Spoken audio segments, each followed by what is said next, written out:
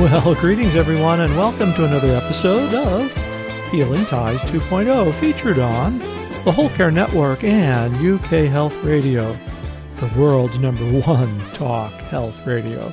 I'm your host and presenter, Christopher MacLellan. You just might know me as the Bowtie Guy.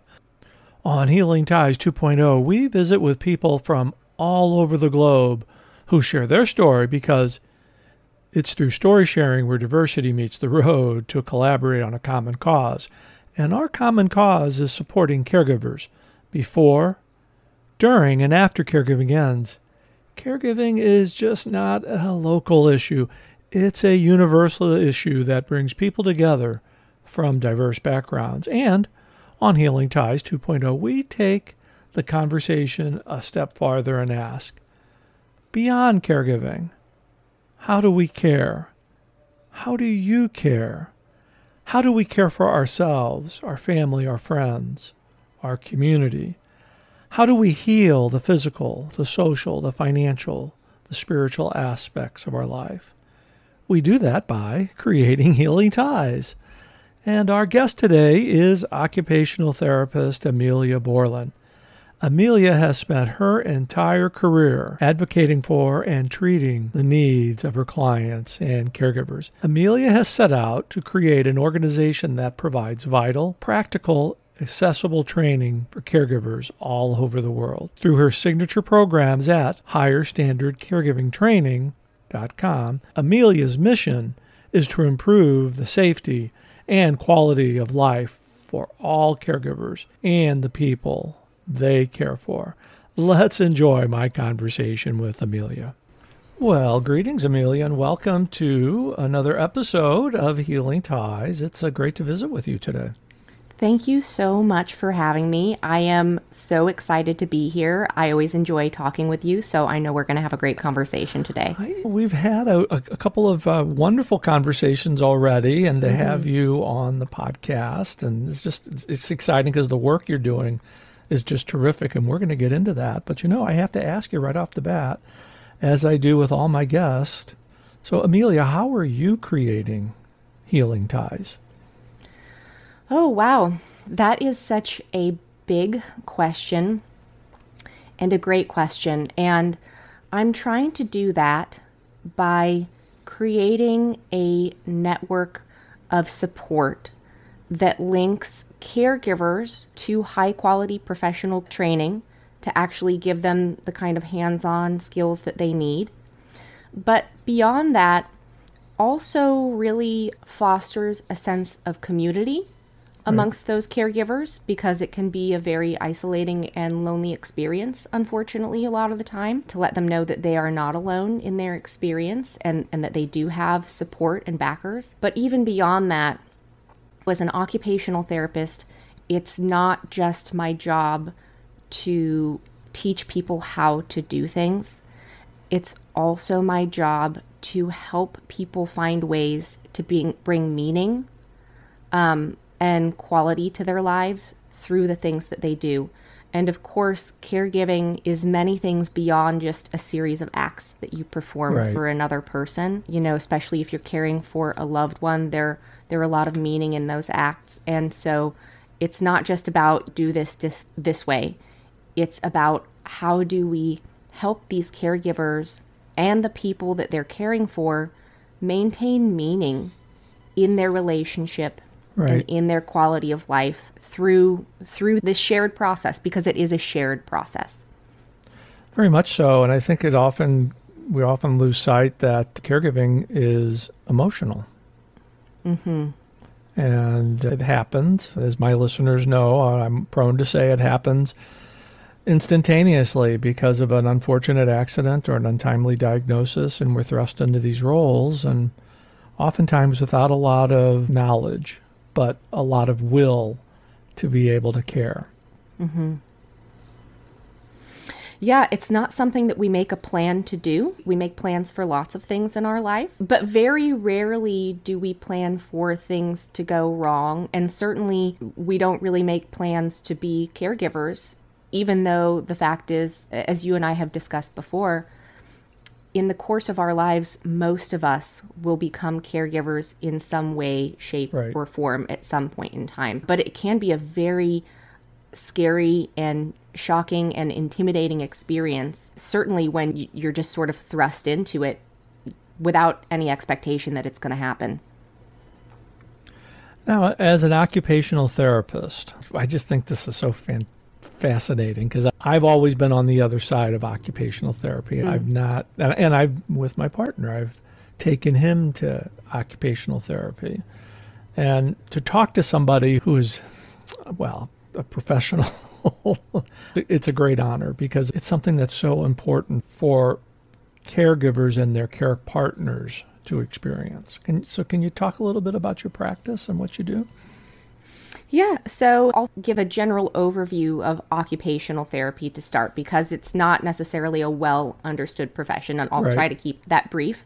Mm-hmm. And then I'll talk a little bit about how I am using occupational therapy to help empower caregivers. So, occupational therapy, first of all, doesn't necessarily have anything to do with a job. Occupational therapists define occupation very broadly mm-hmm. as the things that we want to do, need to do, and have to do in our lives in order to in order to live meaningful high quality of lives so those can be those can be big things like the jobs that we do for a living but it can also be the things that we do for leisure or for fun all the way down to the most basic of self-care tasks like how we bathe ourselves Right. dress ourselves toilet pretty much anything you can think of even sleep we even address sleep because we all know how important that is and Oh, if, i mean goodness.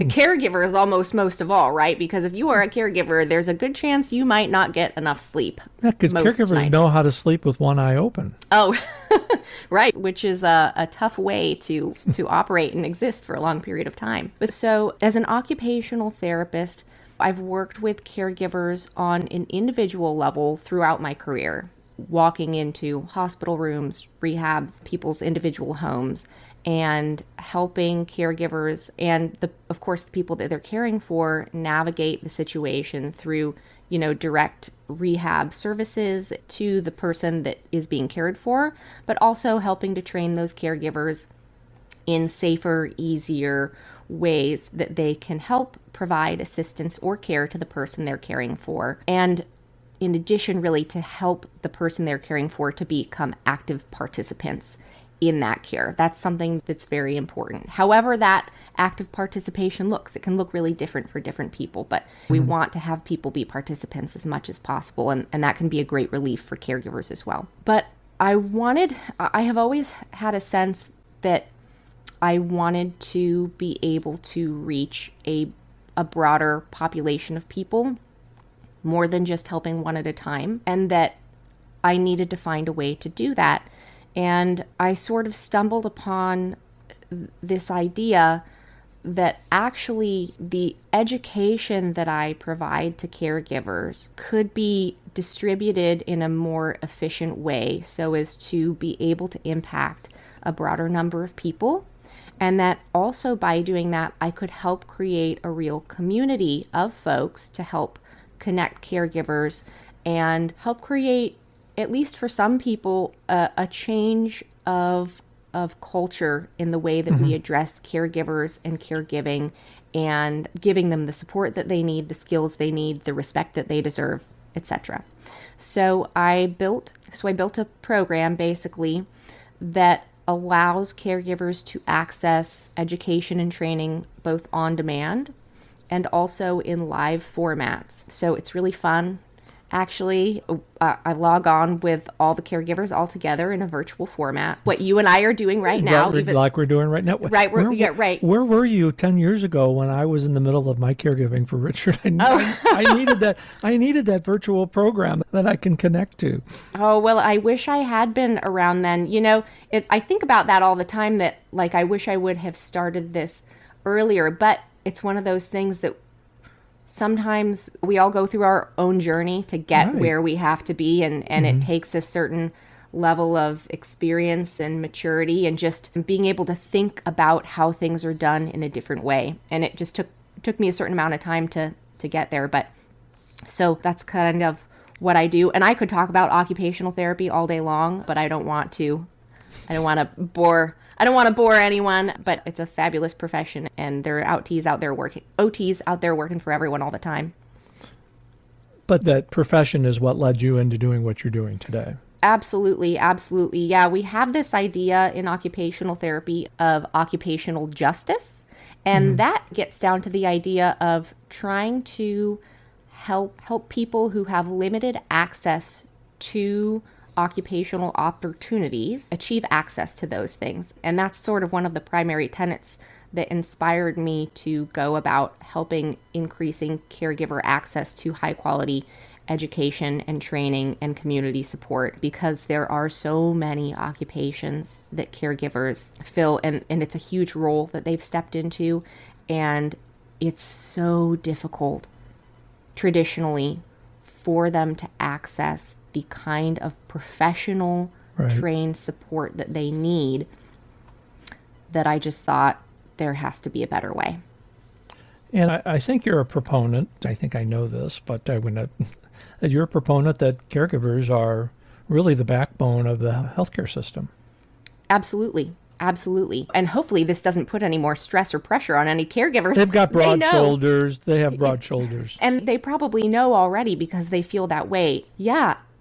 Ultimately, probably the, the person who has the biggest impact on the health and well being of the person being cared for is their primary caregiver at home. Right.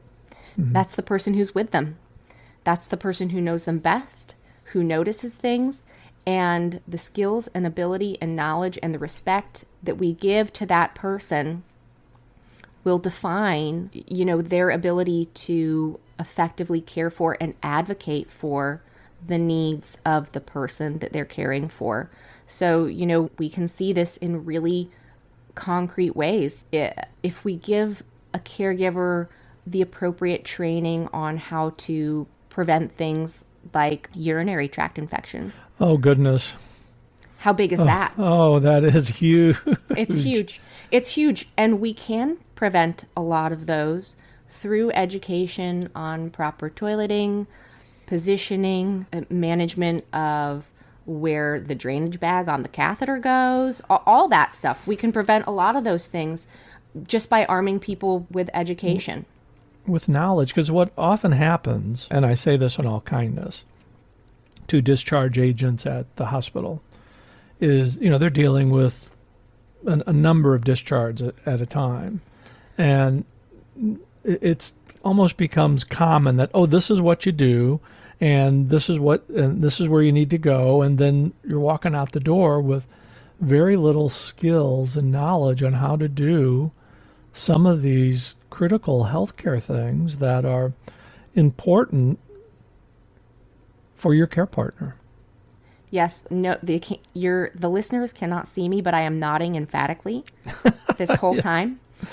No, you're absolutely right. We often forget in healthcare as providers that what our knowledge is not necessarily common knowledge. It's not normal knowledge to have.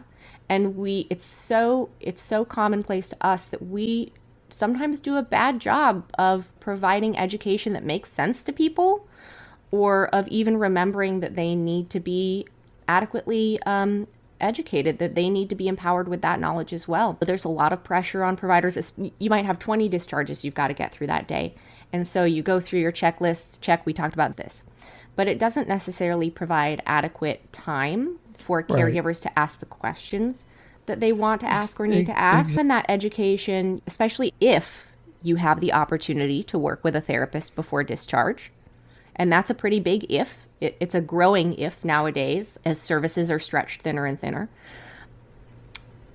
The training that is being provided is in a hospital room or a rehab facility and that might not look at all, all like, like, what you have to deal with at home.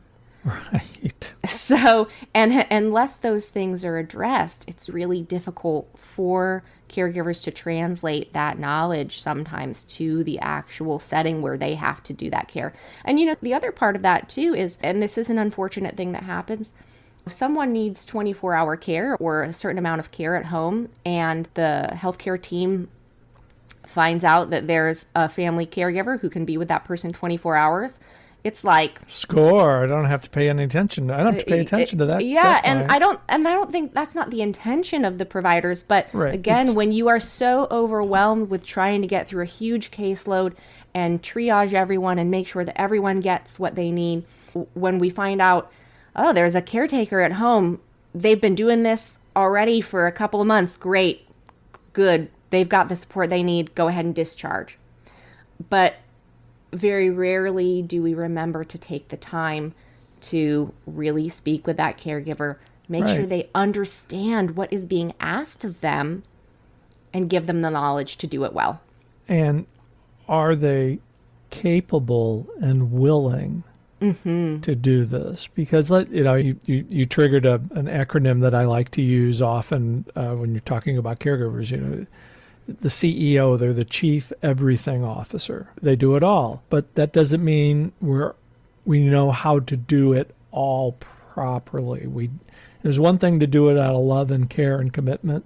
There's another thing when it comes down to proper uh, procedures and administrating of of meds and of exercises and of toileting. All these things that are foreign that are common knowledge to somebody that's in the medical field. Sure. I mean, it, it seems crazy, but I think sometimes healthcare providers, we just forget, like, you know, I got a master's degree in this.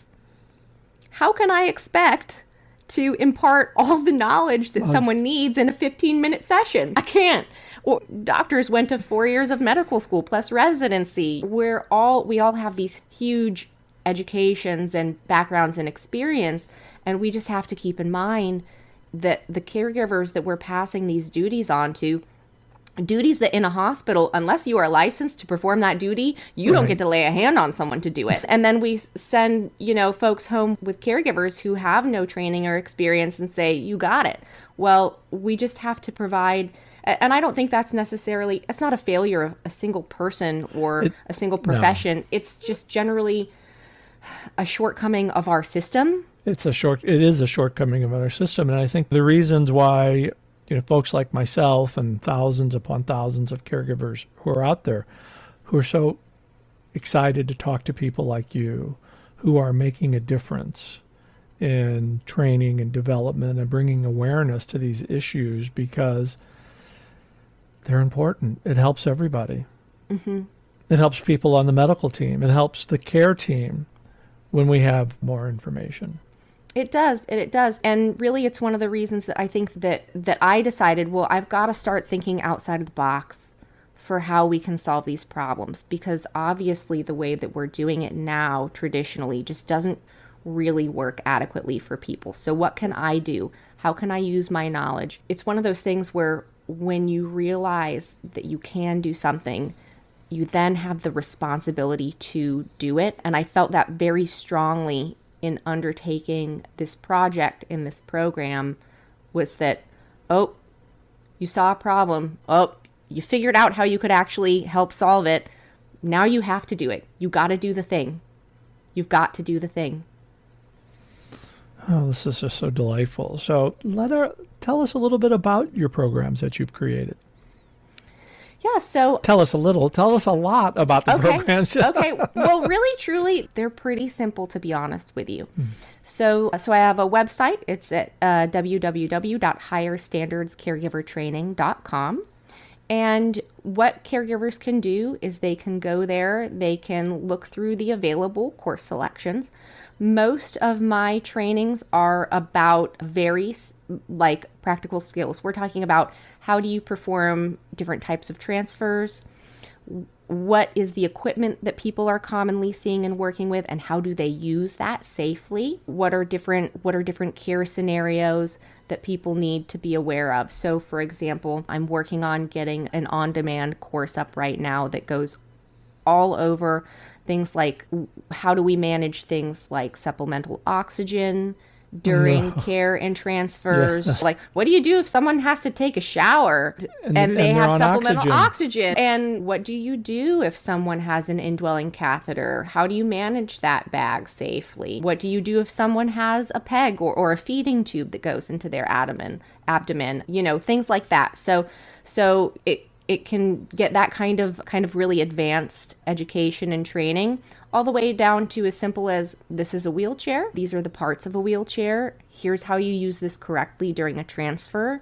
Here's how you make transfers easier by using the wheelchair correctly so, and I'm always adding content as things come up, as I have live trainings with caregivers, as as I see more issues just coming up in the world, or something will come into my mind. Oh, I gotta have a training for that. I'm mm-hmm. always constantly adding trainings and content to the website, and those can be purchased just as individual courses. They're they're built to be extremely affordable and on demand, so they can be purchased as individual courses. But for caregivers who are in maybe a more long term situation, who really find that they need more ongoing support and that they really want to have access to a larger community of support.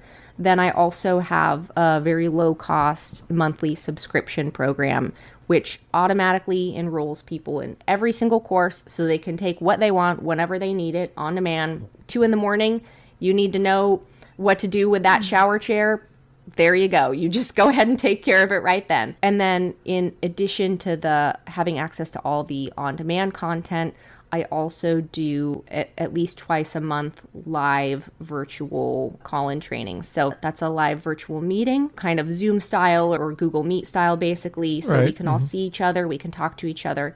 And it's an opportunity for caregivers to ask questions that they can't find answers to in, in the on-demand trainings or just express things that they need to Just kind of be together. Yeah, just to be together and it's a great it's a great problem solving community. Not only do they have access to me as an expert, but of course you have access to the experience of all of the other caregivers that are there as well, which could be invaluable. I, I am that- Mm-hmm. prone to say that the best information and referral usually comes from one caregiver to another because they've been in the trenches and they would not, a caregiver would not give another caregiver a, a bad referral. exactly. Because they know how high the stakes are.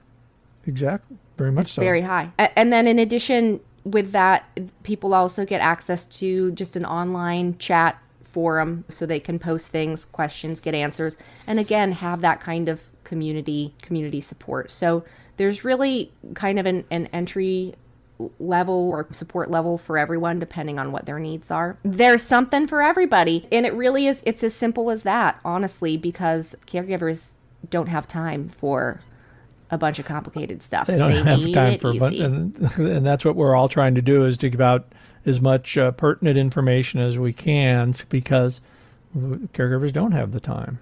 But speaking of time, tell our listeners what is the day and times of the of those classes, those live classes.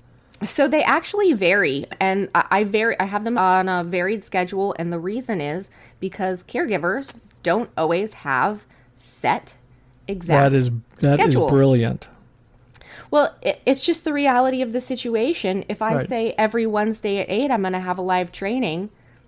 I mean, there's a good chunk of people who will never be able to make that, and mm-hmm. and that's not the kind of community that I want to build. I want to build the most inclusive community possible, where everyone gets access as much as possible to what they need. So I vary the days, I vary the times. Sometimes it's in the morning, sometimes it's later at night, you know, because people just, it's not like having a nine to five job being a caregiver. It's just not like that.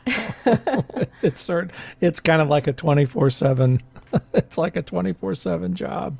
Mm-hmm. But it's also one of the most it's the most meaningful task that I've ever done in my entire life. it can be it's one of those one of those jobs that has a really interesting dichotomy to it it can be incredibly challenging incredibly frustrating incredibly lonely but Right. At the same time so so deeply meaningful when we find ways to do it that can bring meaning and care and love and respect for all of the people involved in the caregiving relationship There's no greater honor bestowed on us than to be entrusted with the care of another human being, Agreed. especially at the time when life transitions. mm-hmm. Uh, there's nothing there's nothing more meaningful. But in order to, to get there, we need folks like yourself who are sharing their expertise and knowledge to help make the journey a little bit better. You know, I'm always full of stories. I, the, the my listeners know that I like to share stories, especially about Richard. And I there's one thing that hit home with me.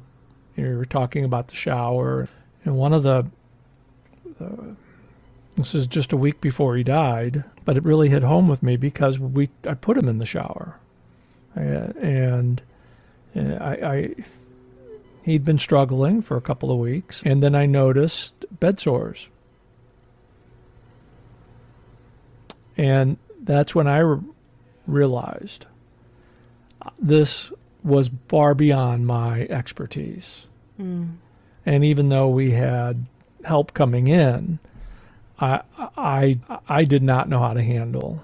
I mean, I could read about what you needed to do, and but I, I recognized at that point that this was out of my level of expertise. And I think the message there for every caregiver is, and I don't mean to be flippant in here, our caregiving capes are limited. There's things we can do and things that we can't do. Just recognize your limitations and know that asking for help is not a sign of weakness, but a sign of strength. Absolutely. Absolutely. And and this is something that I know I have struggled with personally in my own life. I I am someone who struggles asking for help. And when I finally learned to say I don't know and I need help, it was like the greatest burden was lifted from my shoulders. Mm-hmm. It was a burden, of course, that I had placed there. By thinking that I had to know everything and do everything. And I think so often that burden is one that caregivers have placed on them. I don't know if unwillingly is the right word, but without choice. Well, right. It's it often comes without choice, and some mm-hmm. people are able to take that and run with it. Some people mm-hmm. walk away from it, but oftentimes it's it's not a choice, and oftentimes caregivers are taking care of people that they you know they have some issues with whether it's mm-hmm. a parent or a spouse or a sibling. And it's important to learn those skills to put those issues aside if possible and care in the midst of care. But it's not even as gratifying as it is it's not easy. No it's not. And as you said relationships are complicated. Right any relationship is complicated throwing the role of caregiver or caregivee into a relationship can significantly increase how complicated a, really, a relationship is or becomes. And I think your point about understanding, for caregivers, understanding the emotional boundaries that they have, the right. mental boundaries that they have, and the physical boundaries that they have, knowing what those are, and, and then helping to find the resources to support within those boundaries, if that kind of makes sense. Makes perfect sense. Oh, good goodness. What a delightful conversation, Amelia, we're having. This is just wonderful. Likewise, can we do this every day? I could. I just... think we should. I think I. I, I want to come to one of your groups. I think. I should, oh, I would love that. I would. I love would love that. to do that. We could. Okay. We, we could certainly do it because this is all about collaboration. Yeah, absolutely. It's all about sharing information and stories and connecting people. Uh, that's what we kind of do best here. So, but uh, I think this is probably a good time for us to take our break and you know, I got to put you on the spot, Amelia. Uh oh. You know, I, with all my guests, not only do I ask them how they're creating healing ties, I want to come back from the break and learn one fun fact about you that uh, all of our listeners are on the edge of their seats wanting to know about, okay? okay, okay. I'll do my best to make it entertaining. Okay, you're listening to Healing Ties 2.0. We'll be right back.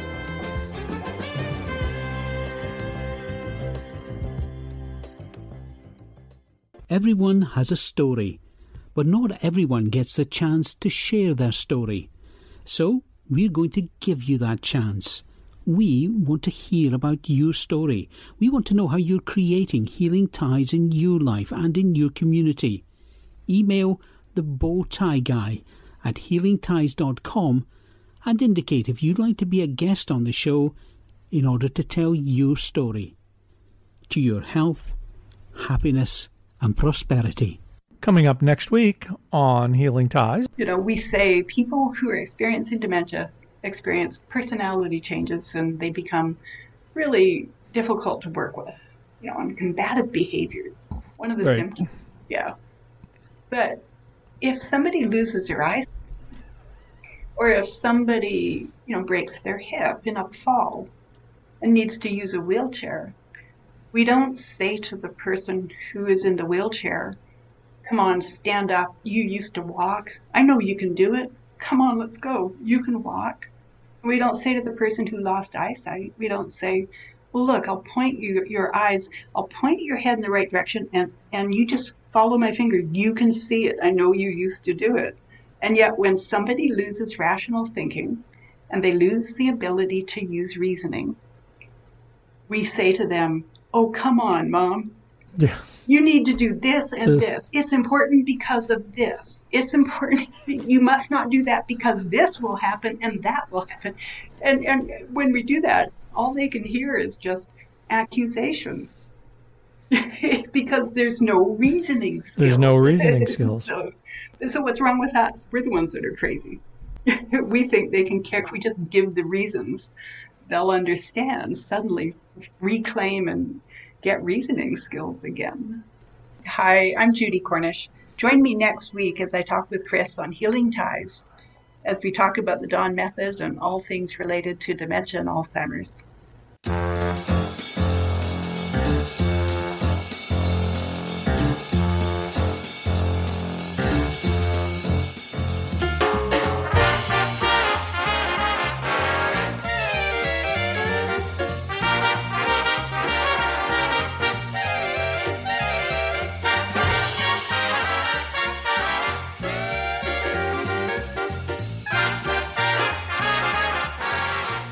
Welcome back, everyone. We're continuing our just uh, delightful conversation with Amelia Bourland. And Amelia, time's up. You're on the spot. You're on the spotlight. You're, we want to know that one fun fact about you that all our listeners are on the edge of their chair.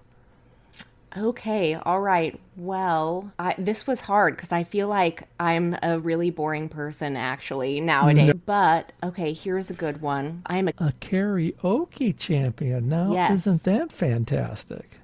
I mean, I'm a karaoke champion in like, you know, one karaoke bar, but That's all you need to be. that's all you need. And my secret is not that I can sing because I cannot. I am a terrible singer.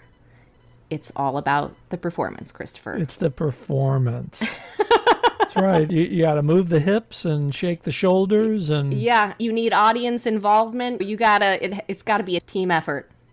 So tell me some of your favorite songs that you like to you do in karaoke.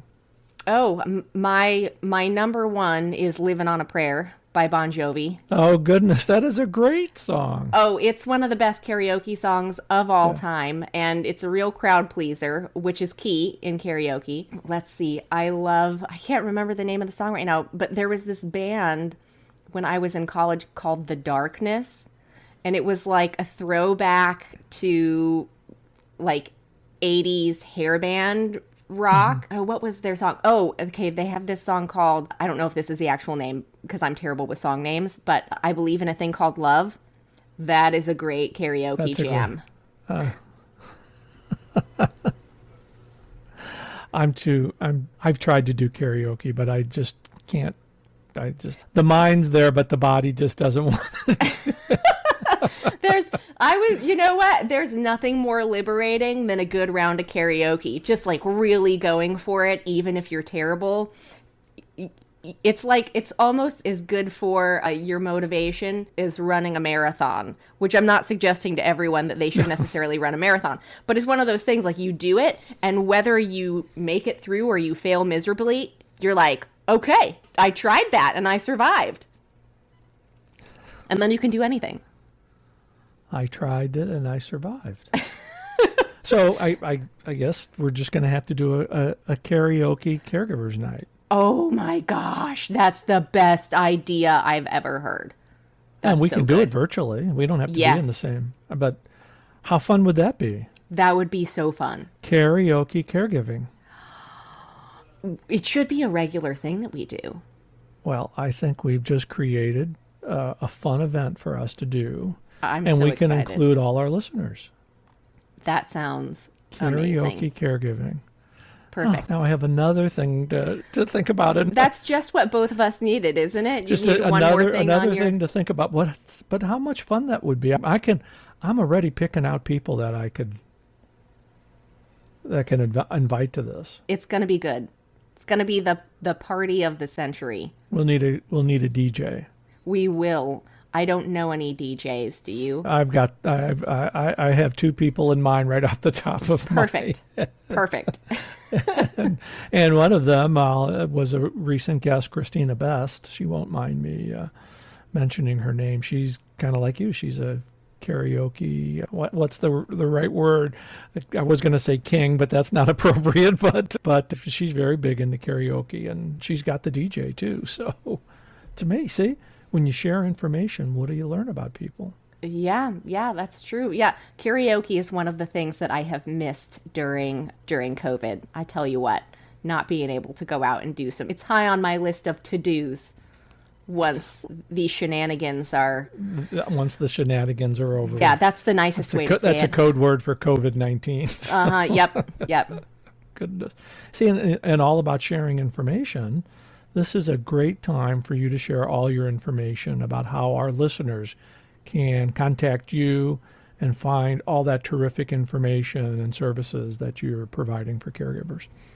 Yeah, so there are lots of different ways that folks can find me and follow me and contact me. Obviously, they can reach out over the website, and that is www.higherstandardscaregivertraining.com. Folks can also follow me on YouTube. I have a new YouTube channel. So if you go to YouTube and search Higher Standards Caregiver Training, my channel should pop up. You can follow me on TikTok. If you search for TikTok, I know. TikTok. I I haven't ventured into TikTok. Now, there's a karaoke outlet for Oh, that could be really fun. We could do a TikTok caregiver Karaoke. challenge, karaoke challenge. Okay, so you can find me on TikTok at Higher Standards Caregiver. Or, sorry, Higher Standards Caregiving. You can find me on LinkedIn at Higher Standards Caregiver Training. So it's higher dash standards dash caregiver dash training. And of course, you can follow me on Facebook, and, and that's at the at symbol higher standards caregiver training. So there's a theme there, there's a common theme there. It's higher standards caregiver training Higher standard- in all of those platforms. You got it all covered. That's terrific. Yeah, yeah. You know, Amelia, with the great work that you're doing, you're certainly someone who's creating healing ties all around us. I can't thank you for sharing your wisdom and knowledge with all of our listeners today, and I'll I'm going to be looking forward to that karaoke night. Oh, me too. And thank you so much for having me. It is really it's such a great privilege. It's always a great privilege to be allowed into such an important part of someone's life, especially when a lot of times if I show up, it's because maybe everything isn't going the way that people are expecting it to. And I, I recognize that. And it's a great privilege to be allowed to be a part of that and to play any sort of role in supporting that at all. So thank you so much for having me here. I'm just so delighted to talk to you as always and so, so very privileged to to speak to your listeners. It's my pleasure, and I'm sure this isn't our last conversation. I hope not. I know this isn't our last time chatting, Amelia, because I am so impressed with the great work that you are doing for caregivers and the training program that you have put together is just simply fantastic. And I encourage all of our listeners to visit Amelia's website, higherstandardscaregivertraining.com. Amelia offers a variety of individual and family caregiving training programs that will definitely fit your needs.